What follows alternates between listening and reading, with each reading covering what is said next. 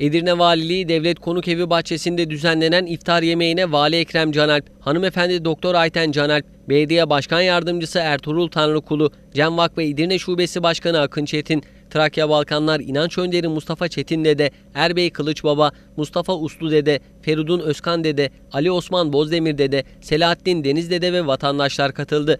Edirne Valiliği Devlet Konuk Evi'nin bahçesinde düzenlenen iftar programında yapılan duanın ardından oruçlar açılarak hep birlikte iftar yemeği yendi.